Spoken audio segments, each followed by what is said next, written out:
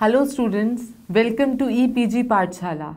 I am Meenal Dhal from Department of Anthropology, University of Delhi. Today we'll discuss the module Human Biological Diversity, a brief history from the paper Human Origin and Evolution. So in this module, we'll discuss about the description of human biological diversity the learn the objective of this module is to understand the progressive evolutionary process. This will also include to describe the progression changes that occur in biological dimension of man. You will also know about the connecting links that lead to homo sapiens sapiens. And you will also know about the understanding of impact of evolution for the biological evolution of man. This module covers the importance of diverse human forms and variants. So first let us briefly discuss about the evolution, what evolution is. The early stages of human biological diversity can only be studied by comparative anatomy of fossil and also by comparative biochemistry of present day human, apes and other primates. The information on the later stages in human evolution are based on the artifacts that include stone tools, pottery, fire hearth and the fossil of other animals along with the human fossils. The human biological diversity can be understood as the gradual process by which the present diversity of plants and animals arose from the earliest and the most primitive organism which is believed to have been continuing for at least the past 3000 million years. It is believed that every species was individually created by God in the form in which it exists today and is not capable of undergoing any change. This is referred as the theory of special creation. The special creation was contradicted by the fossil evidences and genetic studies and the pseudo-scientific arguments of creation science cannot stand up to logical examination. It was the generally accepted explanation of origin of the origin of life until the advent of Darwinism. The course of human phylogeny or the human biological evolution like mammals can be followed only from the fossil records. Though the fossil records are fragmentary, the paleoanthropologists have been able to piece them together and draw them an almost complete phylogeny of primates and of modern man, Homo sapiens sapien. Lamarck was the first biologist to publish a theory to explain how one species could have evolved into another. He suggested that changes in an individual are acquired during its lifetime, chiefly by increased use or disuse of organ in response to a need that continues to make itself felt and that these changes are inherited by its offspring.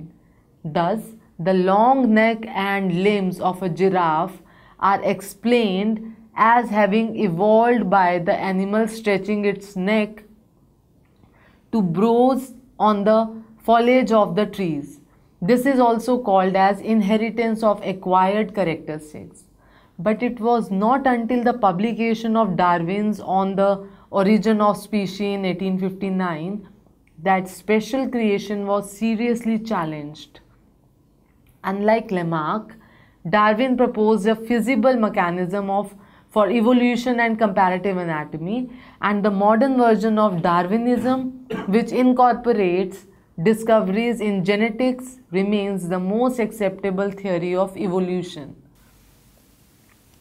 The place of origin of human diversity includes the fossil of pre-human and ancestral human forms which are obtained from the widely diverse regions of Africa, Asia and Europe which indicates that man's center of origin was probably in Asia and Africa. More precisely, human must have been originated from Central Asia because the oldest known fossil have been obtained from Asia, China, Java and India where uh, these Siwalik hills were there. The number of domesticated animals and plants is maximum in Asia. A number of migration of animals have occurred in the past from Asia. Asian cultures appear to be the most oldest culture. The climatic conditions in Asia and nearby places were most conducive or for the human evolution and rich fossil beds are discovered from Rift Valley in East Africa where hominid fossils have been found. These areas are Olduvai Gorge, Lake Victoria and Lake Natrona in Tanzania and Lake Turkana in Kenya. Now probable time of origin of human diversity. The primates are presumed to have started evolving in Eocene of tertiary period between 75 and 60 million years ago or living in forests of Miocene. In late Oligocene, about 25 to 30 million years ago, when these evergreen forests were replaced by drier savanna grasslands, some tree-dwelling primates returned back to the ground and became ancestors of apes and human. Thus, Evolution of man and apes started together from some tree-dwelling common ancestors about 25 to 30 million years ago. Humanization or the achievement of human organization or appearance of genus Homo started about 5 million years ago. Now what is human biological diversity? A brief history of human biological diversity we'll discuss where the French anatomist Marcellin Boule presumed that generalized monkey-like creature must have been our hominid ancestors. But Wood Jones proposed that it would be easier to derive human from a small toothed generalized tarsier like prosimian, then explaining the reduction in the size of teeth during the evolution of man from monkey-like apes. This figure illustrates the evolution of modern Homo sapiens sapiens. The Propliopithecus is a fossil of first known ape obtained from Fayum deposits of Egypt. It was described under the name Propliopithecus and it lived from around about 30 to 35 million years ago in Oligocene. It is represented by the fossil jaws and teeth.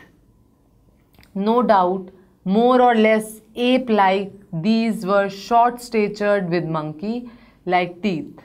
Their dental formula is 2123.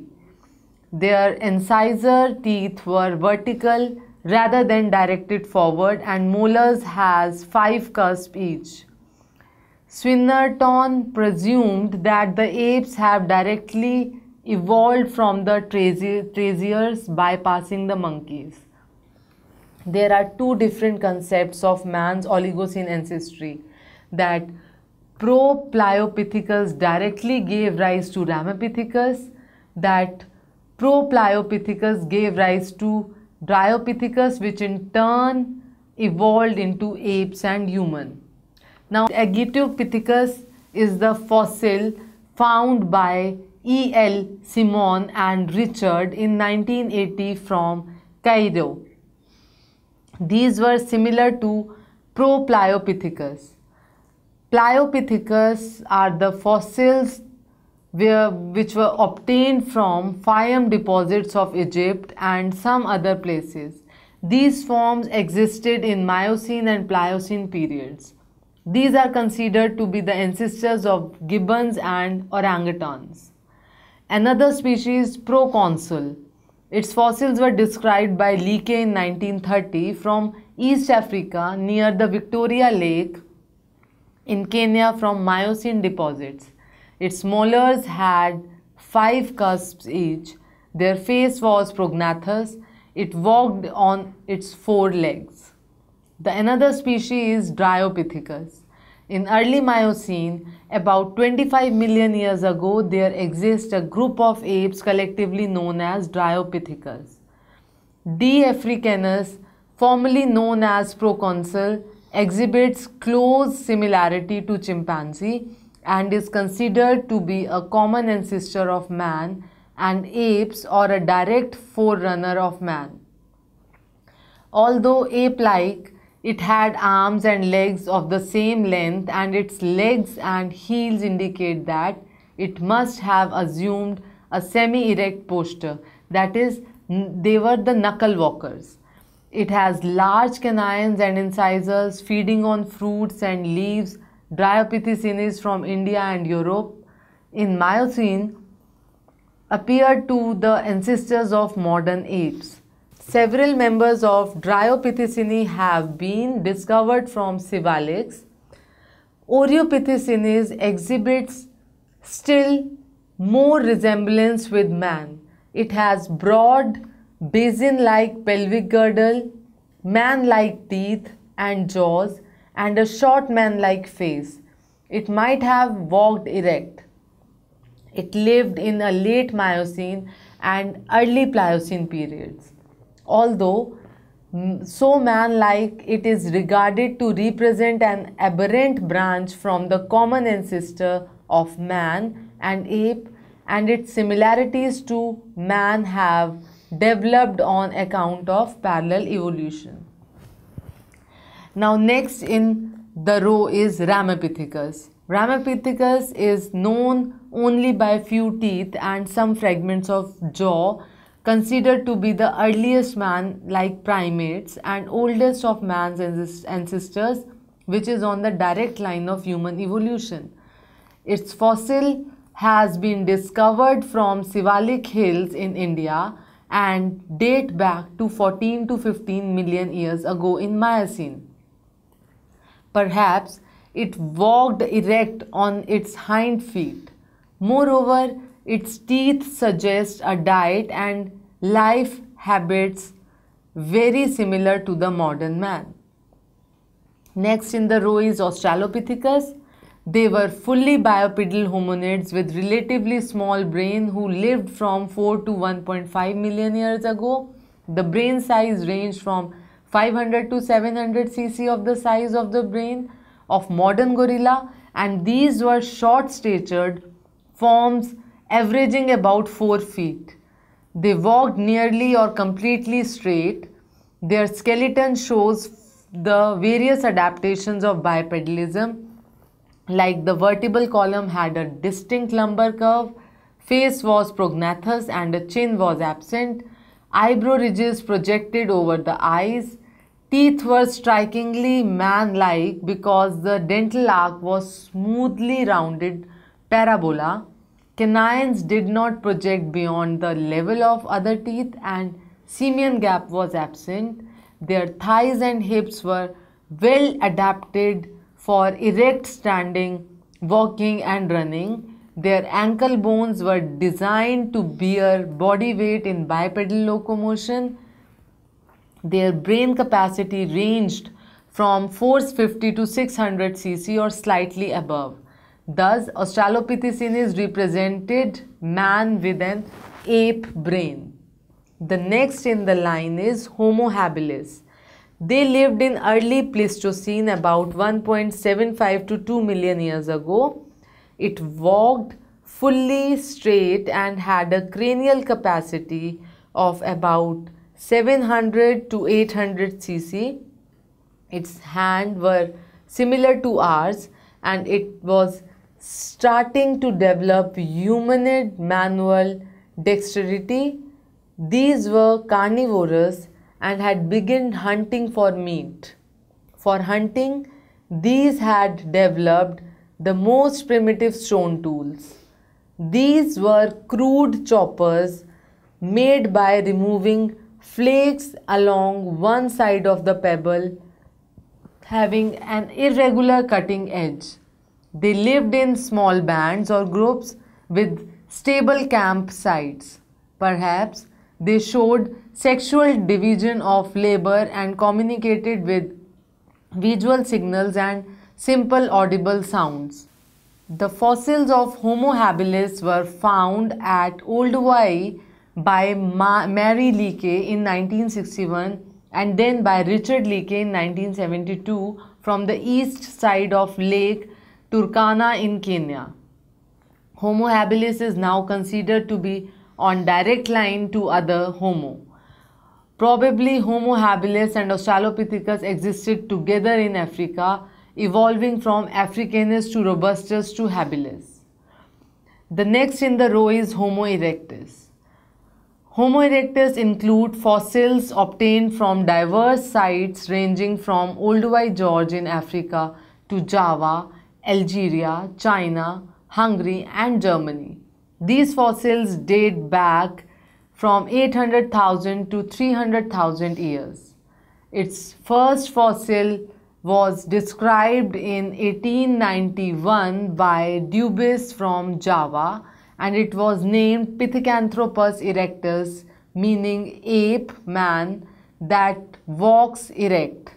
But Mayr in 1950 has replaced these names by Homo erectus so that Homo erectus is known as Homo erectus erectus and P. pekinensis as Homo erectus pekinensis. Homo erectus has skeleton much like ours but more primitive skull. They were hunters and food, food gatherers and they used the stone tools for hunting and butchering of deers, antelopes and even large ferocious animals such as bears, wild oxen and elephants. Their tools included hand axes, chopping tools, flakes, points, cleavers and even scrapers. They had started using bone and wooden tools as well. Signs of organized hunting have been found in Europe. Homo erectus people had also learned the use of fire for cooking purposes for which evidences are available from Hungary and China. Homo erectus have left clear records of a developing culture associated with the oldest or Abbevillian culture.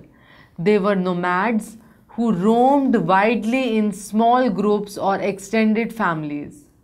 These people had begun to clothe themselves with animal skin and more of them moved into the caves to protect them from the adverse cold conditions. They also used some kind of rudimentary visuals, signals and languages. On the other hand, the Java man or Homo erectus or Pithecanthropus erectus, they were the fossils were found in 1891 by Dubois on the bank of Solo River in eastern Java. Its fossils include some teeth, skull cap and femur bone. It occurred in the Pleistocene deposits some 500,000 years to 1.5 million years ago. It has a cranial cavity of about 940 cc which is intermediate between that of Australopithecus and modern man. It was more than 5 feet tall and weigh 70 kg. Its forehead was low and slanting. The face was prognathous. The jaws were very massive with huge teeth. The chin was absent, but bony eyebrow ridges present over the eyes were heavy. Their molars were smaller, but frontal teeth, that is, incisors and canines, were large and more prominent, indicating omnivorous diet.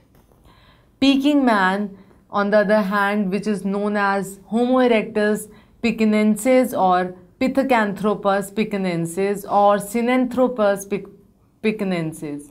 Its fossils were discovered from caves near Peking in 1920 by Davidson Black. Their fossils include numerous skulls, jaws and postcranial bony fragments from the limestone caves near Choukoutien these lived most probably about 1.5 to 500,000 years ago.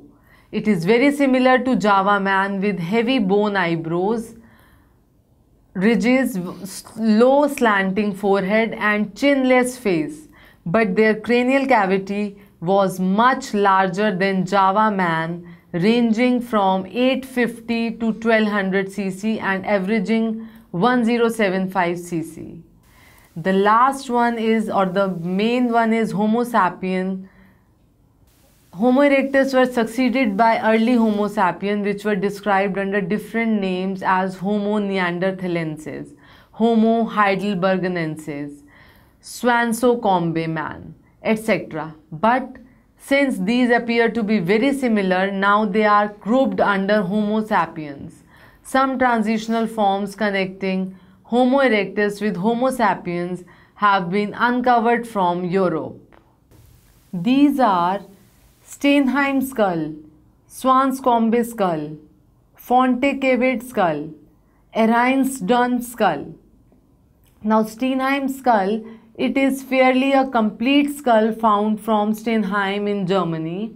Its cranial capacity is estimated to be about uh, 1000 cc and it had puffy eyebrow ridges and a low forehead. Its face protrudes but is relatively straight tucked in under the brain case. The back of the skull was well rounded and the molars were modern but the incisors were rather large. Swanscombe skull, this is known from the three bones which form roof and back of the brain case. The bones are usually thick. Its cranial capacity is estimated to be about 1320 cc and in other features it resembled Homo sapiens.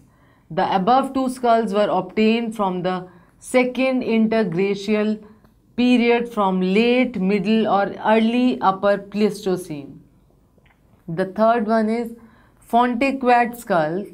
These were discovered from southern France from the third interglacial period.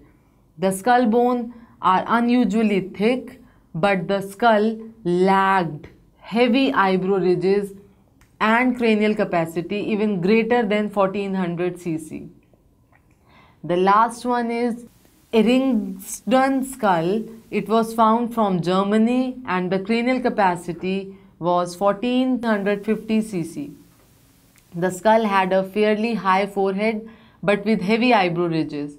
Thus it resembled Neanderthal man in eyebrow ridges and Homo sapiens in forehead.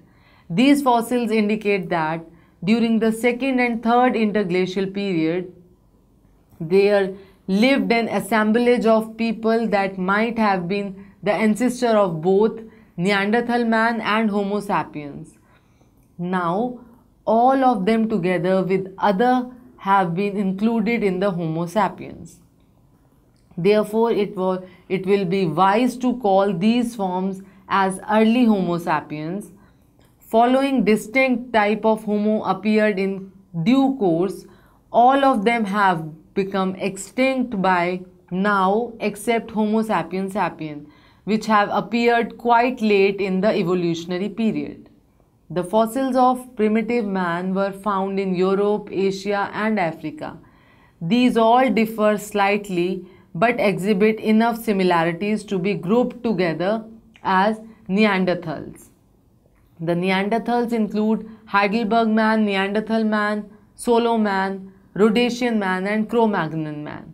Heidelberg man known only from a massive lower jaw which was found from Heidelberg, Germany.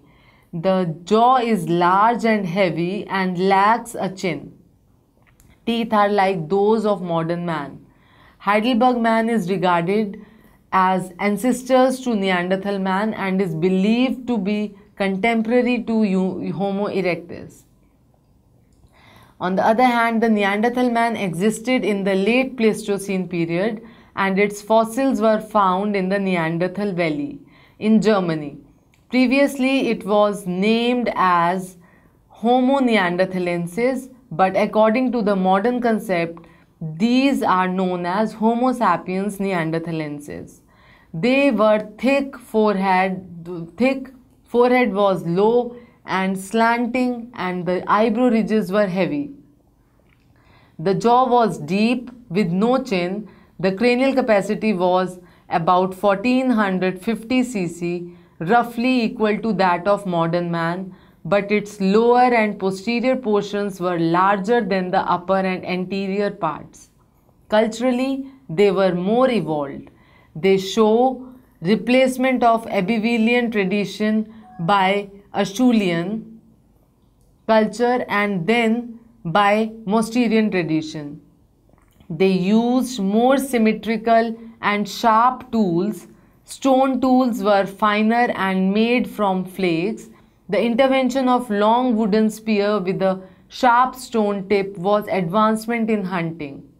Neanderthals possessed the knives to butcher the carcasses and used fire for cooking and for warmth they used animal hides for crude clothing.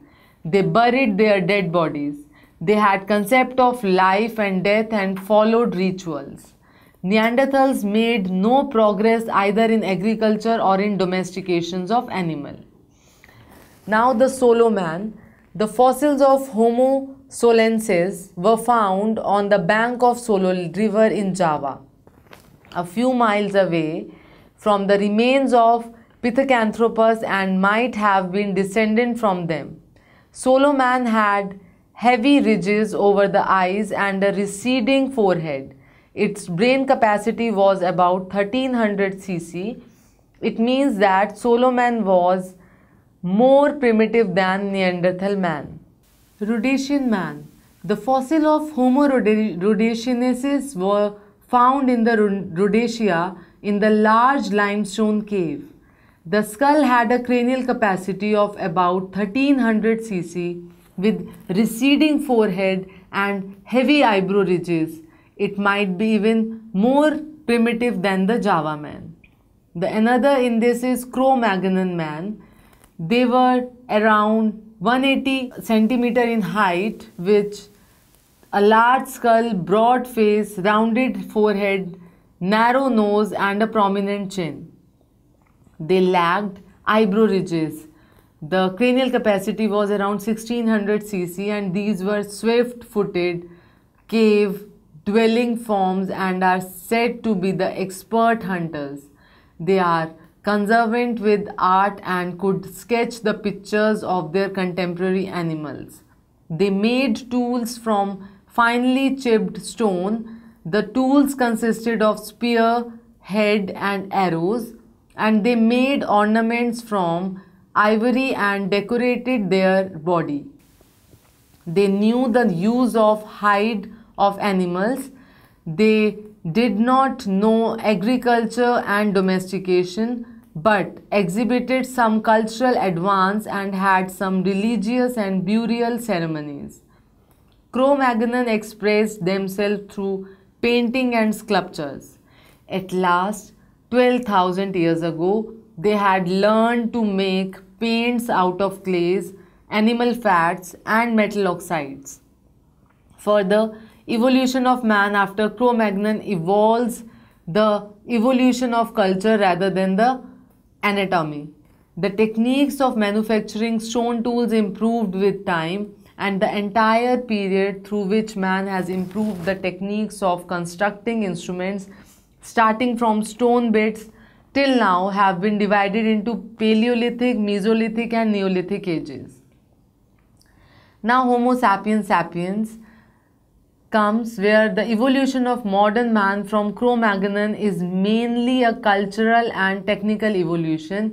It has witnessed the advances in the farming techniques, domestication of cattle, dogs and sheep, establishment of towns, extraction of metal from one and their use in arrows, potteries and even ornaments and jewelry. About 3000 BC, the first alloy bronze was also prepared. The modern man appeared 11 to 10,000 years ago in Asia near Caspian Sea. From here it migrated in three directions and formed three distinct races. These were white or Caucasoid race. Nowadays, we don't use the word race, we use the word ethnic group. and these caucasoid ethnic group they have the white race spread in the west along shores of mediterranean in europe south west asia and north africa. Second is black or negroid ethnic group. This group developed in africa and malaysia and the last one is mongoloid group. This group spread in north and east in siberia and china. Now Let's summarize what we have discussed till now. The human biological diversity can be understood as the gradual process by which the present diversity of plants and animals arose from the earliest and the most primitive organisms, which is believed to have been continuing for at least the past 3000 million years. The course of human phylogeny or the human biological evolution like other mammals can be followed only from the fossil records. Though the fossil records are fragmentary, the paleoanthropologists have been able to piece them together and draw them an almost complete phylogeny of primates and of modern man that is Homo sapiens sapien. The early stages of human biological diversity can only be studied by comparative anatomy of fossils and also by comparative biochemistry of present day human, ape and other primates. Information on the later stages in human evolution are based on artifacts that include stone tools, pottery, fire hearth and the fossil of other animals along with the human fossils. Thank you.